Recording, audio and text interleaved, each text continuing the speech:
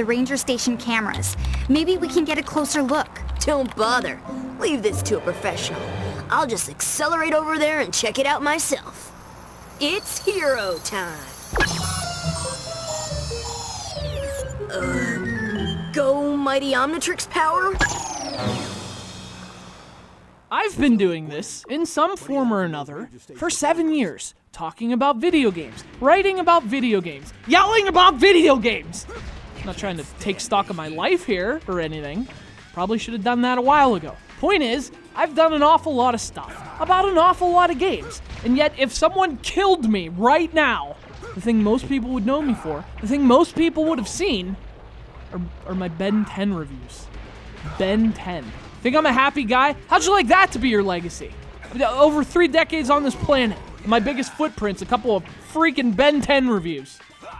You know what? Someone kill me right now. It's Ben 10, Protector of Earth for the PlayStation 2. I've done other things.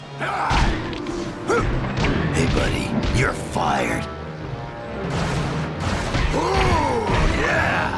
Now, I know next to nothing about Ben 10. I've never watched a single episode, but I have learned a few things. Namely, that a Ben 10 review has more pull than the sun.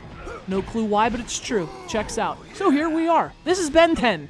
This might be your first time watching CGR Undertow. Hi, my name's Derek. I have Michael Cera's voice, Shaun White's hair, and Emma Watson's restraining order. And you're gonna think I'm just saying this to kiss your ass, but I have never tried to kiss an ass except one, but that's where the restraining order comes in, but that's another story. Story here is Ben 10 Protector of Earth. It's a pretty decent PS2 game. Actually, you should kiss my ass now. So I reviewed the DS version several years ago. For some reason, it's by far one of the biggest reviews I've ever done. If anyone cares to explain why, I'm all ears. It's almost as shocking to me as the game itself was, because the game itself was pretty solid. Not that it's great, not that it's some must have DS game, but as far as licensed games go, Protector of Earth was a pleasant surprise. So I actually went into this one with positive expectations. How crazy is that? And hey, you know what's crazier? This thing exceeded them.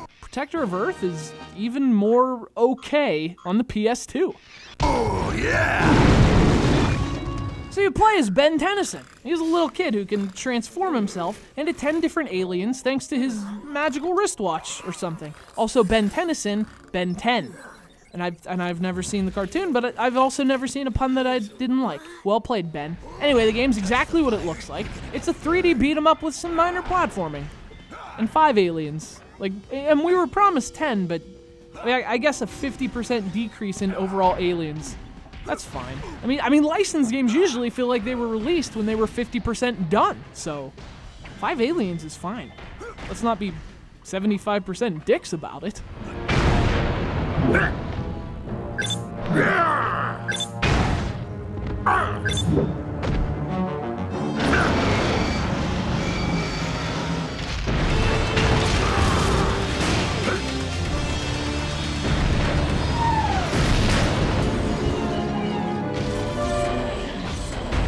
Now the gameplay is pretty standard, but I mean, I mean that in a good way. You know, you mash buttons to do various attacks. You can unlock new combos.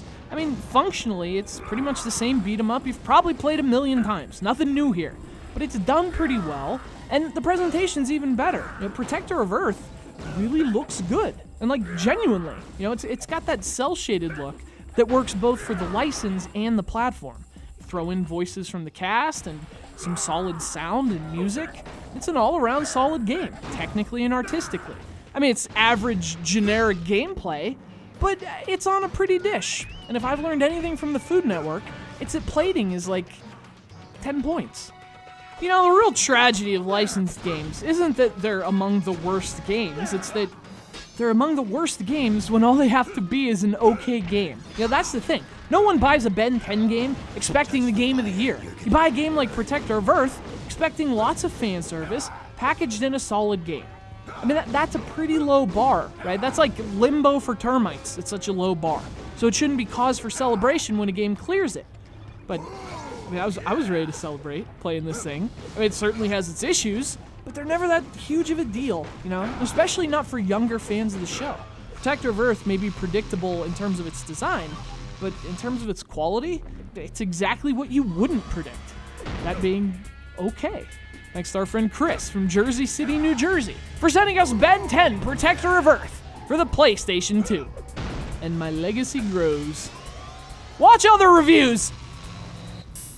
Well, looks like he's not here. I guess the Trivia Princess loses again. No, he's here. He has to be here. Thanks for playing our show. We have some lovely parting